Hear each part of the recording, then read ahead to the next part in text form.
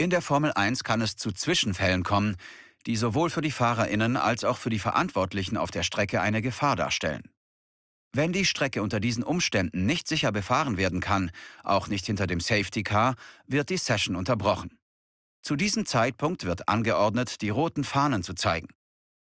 Alle Autos müssen abbremsen, in die Boxengasse zurückkehren und warten, bis die Strecke von jeglicher Gefahr befreit ist, bevor es weitergeht. Während der Unterbrechung kann innerhalb der vorgegebenen Zeit an den Fahrzeugen gearbeitet werden, einschließlich regulärer Reparaturen von Unfallschäden sowie Reifenwechsel.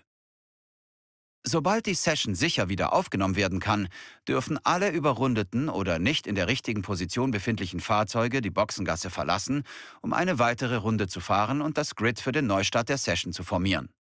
Sobald alle Fahrzeuge im Grid stehen, kann die Session mit einem stehenden Start neu beginnen.